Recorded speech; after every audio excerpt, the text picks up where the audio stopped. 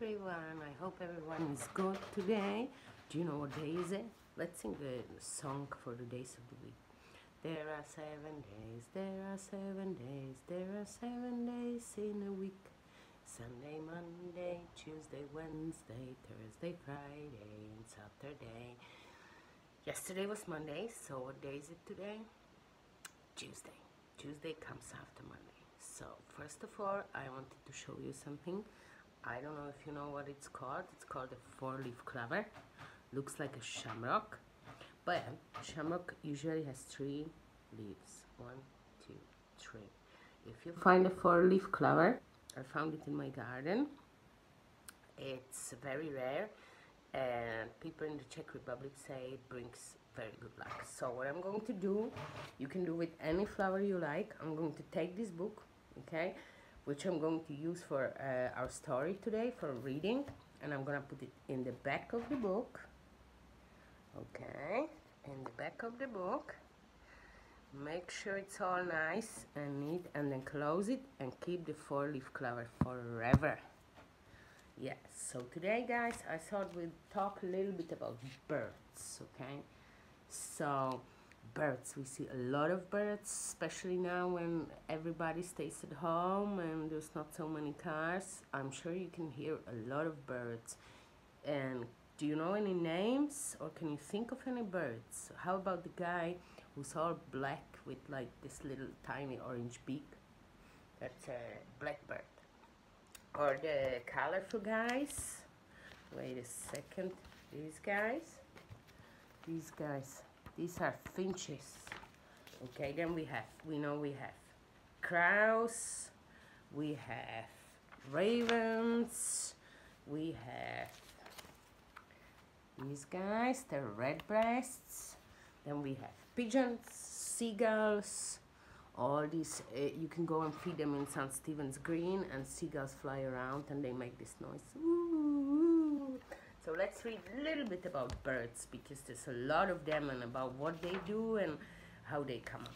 So all over the world this uh, sight of graceful wings and the chorus of birds songs is a pleasure. Yes we all love to hear the birds when they twiddle and sing and especially in the mornings it's really nice.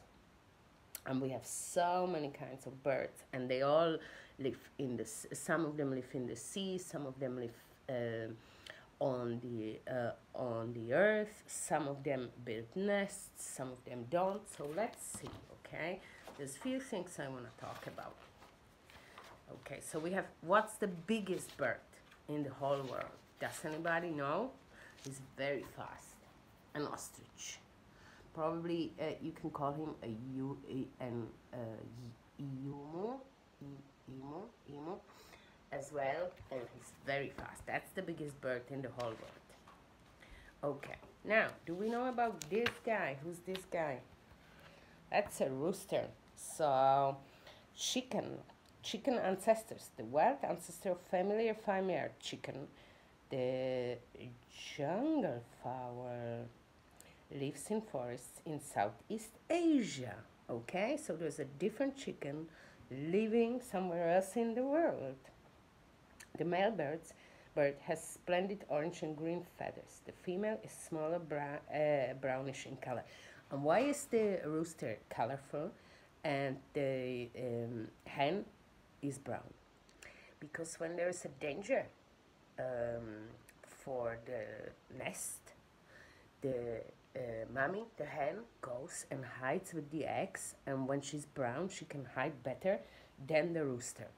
Because if you're colorful, you would be seen a little bit more. Same with wild ducks and other birds. Okay, so, okay, so we have some facts about flying. I um, we can fly on an aeroplane, but we know that birds can fly everywhere. All birds have feathers. They're the only creatures that do. Feathers are light and strong, and when you touch them, they're so soft and so nice. And sometimes we even like to use them for our arts and crafts, don't we? And uh, bird has different types, each with different jobs to do. Some help the birds to fly and balance in the air, and some provide warmth, and others are useful in display. Like, for example, I don't know if we can, a peacock. A peacock, peacock uh, has beautiful feathers. A bird is able to fly because of the long, strong feathers on its wings and tail. The wing feathers are made of primary and secondary flight feathers. Ooh, the primary feathers act as propellers, like when you have a um, uh, when you start a boat, a boat has a um, round thing which is a propeller, and that helps the boat to uh, be on the sea. So it's the same for the birds with the feathers. Uh, to push the bird along, and the secondaries give lift. The flap, it, to flap its wings, a bird uses strong chest muscles. Strong chest muscles, okay. Uh, the flapping action pushes air back and down, lifting the bird up and along. Nice, I didn't know that. Okay, what other birds can you think of, guys? I've recently, actually, when I went for my walk, I saw this guy, uh, heron. I was so beautiful because he sat um, on one of the uh, gardens because I think the family who had some food there for him and they told me that he keeps coming there every single day. So a herring, yeah. What about swans? Are they birds? Oh yeah, they are. And do you do we feed them? Do we feed uh, swans? Yes, we do. But what's the best thing to give to swans? Carrots and greens because they don't really need any bread. But we can give them a little bit of bread, but not too much. It's better to give them carrots and greens. Oh, there we have our cutest, our, our cutest friends, Antarctic penguins. They're birds. Even though they don't fly, they swim, but they're birds because they lay eggs. And anyone who lays eggs um, is a bird. As well as snake, no, snakes, yes, snakes lay, lay no, snakes don't lay eggs. Uh, penguins cannot fly but are uh, expert swimmers and divers. They live in the southern hemisphere, Antarctica, remember?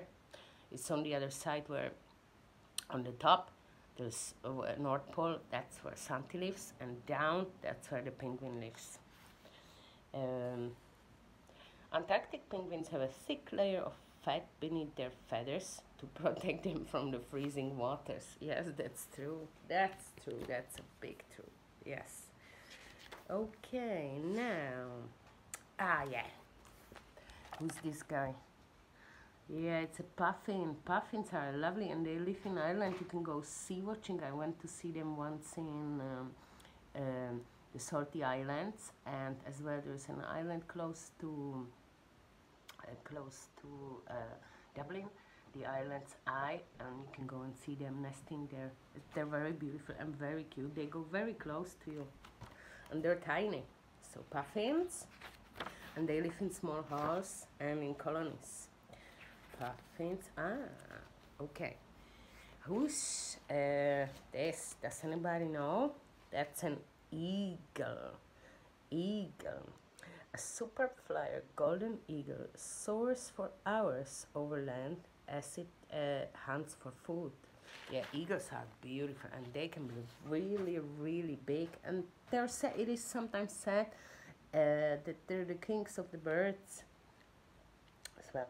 Mammoths, uh, yeah, they eat rabbits, um, mice, and can also catch small tiny birds. But I bet they're really fast and they won't, they won't let the eagle to eat them. No. Oh yeah, we all love those colorful guys, parrots.